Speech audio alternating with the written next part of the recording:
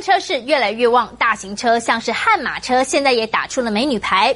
专门进口悍马车的进口商 Kitty 跟哥哥一块做车商贸易，全台湾有一半的悍马车都是他们家进口的。而现在第二代公主首度曝光。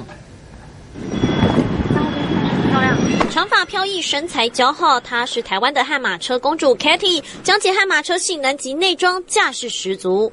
倒车显影的话，就是它只要打啊打，那它自己就会有这个装置出来。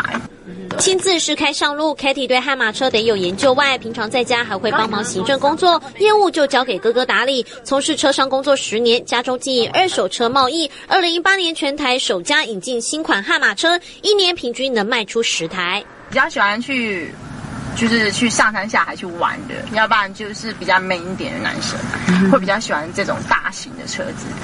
不过，由于二零零八年悍马车在出了最后一批新车之后就宣告停产，让悍马车市场的增值空间越来越大。国外从二零零八年至今，价格已经涨了百分之二十五，大约在台币两百万到三百万之间。未来国内也可能会吹起一股涨价风潮。这种车以后会增值，因为它其实验车它的法规会会越来越严格。那其实这种车已经很稀少了，就是因为稀有性。Kitty 说，台湾买悍马车的人逐年增加。